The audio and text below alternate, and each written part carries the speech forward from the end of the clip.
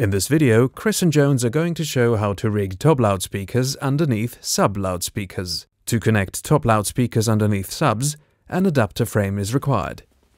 The adapter frame can travel within the XSL sub touring cart. If this is the case, the subs can be lifted out of the cart with the adapter frame attached. To do that, please release the pins connecting the adapter frame to the cart. If the adapter frame doesn't need to be lifted out of the cart just yet, disengage the front links to the lowest subs.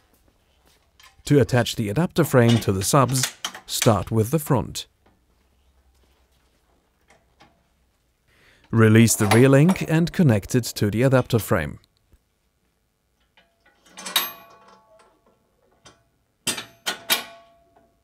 Don't forget the safety pin.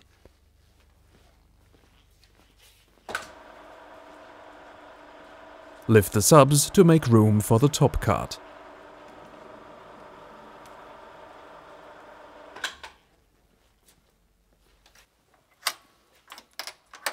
Extend the front links and connect the two parts of the array.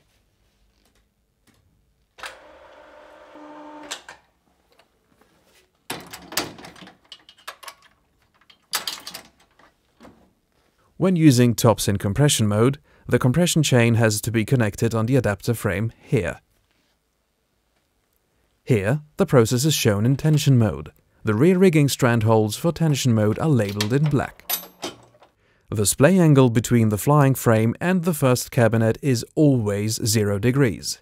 Unhook the splay link and lift the first cabinet until the hook engages. And don't forget to insert the safety pin. Insert the pin from the cabinet in the desired hole for the splay angle, remove the safety pin from the third cabinet and unhook the splay link. Lift the cabinet until the hook engages. And again, don't forget the safety pin. Then repeat this procedure with all the following cabinets.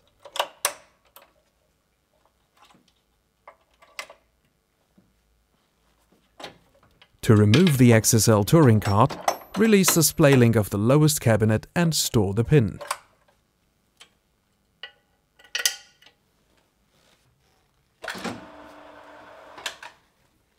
Then, remove the two front links.